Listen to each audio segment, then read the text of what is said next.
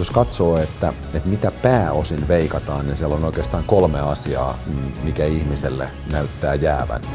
Ensimmäinen on luova ongelmanratkaisu, toinen on kriittinen ajattelu ja kolmas on sosiaalista älykkyyttä vaativat tehtävät. Mutta vaikka tätä ei tapahtuisi, niin ne on yleensä hommia, jotka on motivoivia, ne on kiinnostavia, niihin liittyy oppimista.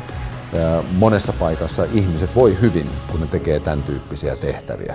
Ja lisäksi jopa nykyisessä markkinassa, jos on äärettömän hyvä luova ongelmanratkaisija, sille mitään väliä, että oletko sä kirvesmies vai, vai ootko sä AI-asiantuntija. Jos sulla on kyky ajatella kriittisesti, esimerkiksi vaikka vanhoista ongelmanratkaisumalleista tai totuuksista, joita esitetään.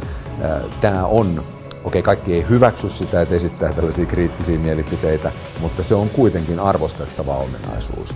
Ja jos ihminen on sosiaalisesti älykäs, se saa levitettyä ideoita ja sitten kaiken lisäksi mä näen vielä, että, että sosiaalinen älykkyys on ehto sille, että me pystytään tekemään ryhmätasolla poikkeuksellisen luovaa ja kiinnostavaa työtä jolloin sellainen ihminen, joka panostaa näihin, niin vaikka mitään tällaista isoa automatisaation aaltoa ei tapahtuisi, niin, niin hänen asemansa on huomattavasti parempi ja todennäköisesti työpäivät kiinnostavampia.